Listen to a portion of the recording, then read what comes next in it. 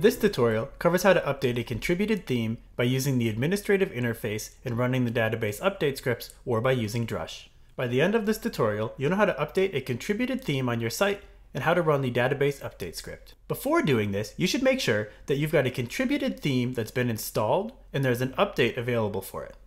That you've got a development version of your site you can test this on first, that you've created a full site backup before proceeding on the live site. If you want to use the user interface to make the updates, the core Update Manager module must be installed. And finally, if you want to use Drush, Drush must be installed. See the written version of this tutorial for links to each of these prerequisites. Note that if you're using Composer to manage your site's dependencies, you'll want to follow the tutorial on using Composer to update the code, and then come back here for instructions on running the database update script.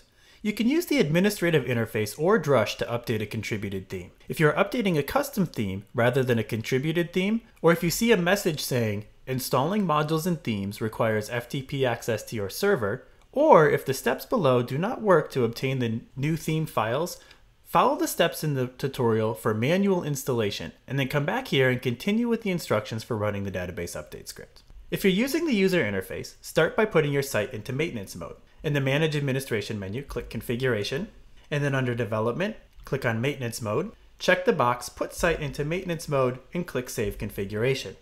Once the site is in maintenance mode, in the Manage Administrative menu, navigate to Reports, Available Updates, and then Update. This will show you a list of any modules or themes that need updating. Find the theme that you want to update in the list and check the box. Then click Download these updates. On the next page, click Continue.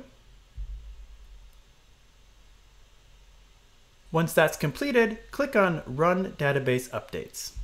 If you obtain the new theme files manually or via Composer, start with this step and reach the Database Updates page by navigating to the update.php script in your browser.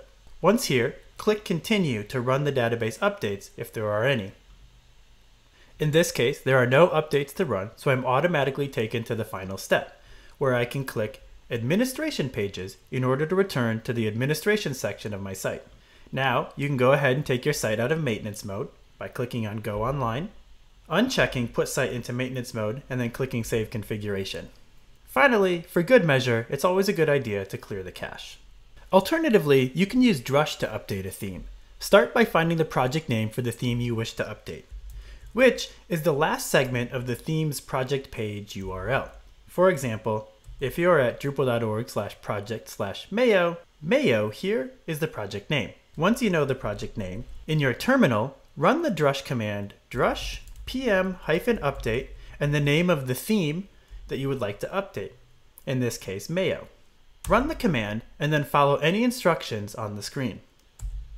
The drush pm hyphen update command will automatically run any database updates if required. In this tutorial, we learned how to update a contributed theme using the user interface provided by the Upgrade Manager module, or alternatively using the drush pm-update command.